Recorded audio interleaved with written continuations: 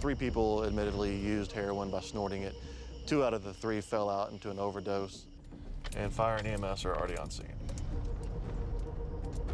Right now, we'll just go up here and see if we can assist them in any way. What we got, Sean?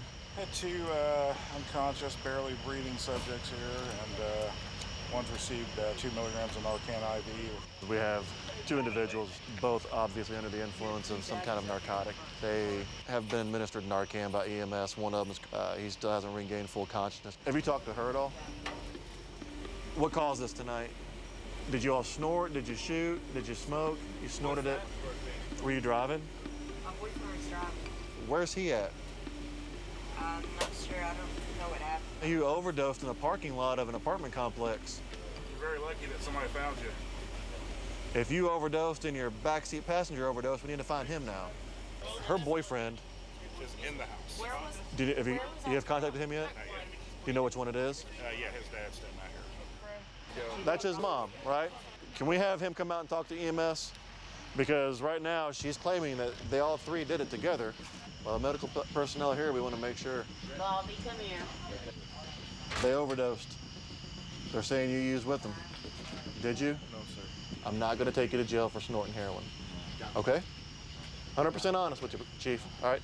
So, did you or did you not? Charge me with anything? No, not, no, I'm not going to charge you for snorting heroin. Okay? Yeah, I did a little bit. Okay, let's go get you checked out. All right? That's what they want. Signal. All right, it's for your Okay.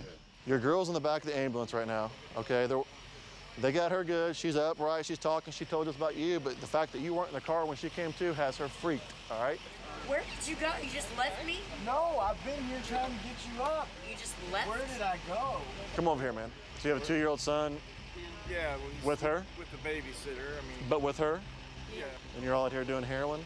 She almost died, dude. So did he. Whoever your friend is back there. I'm, I'm done. You should be, man. It shouldn't have taken something like this, but the fact that it did. Crazy.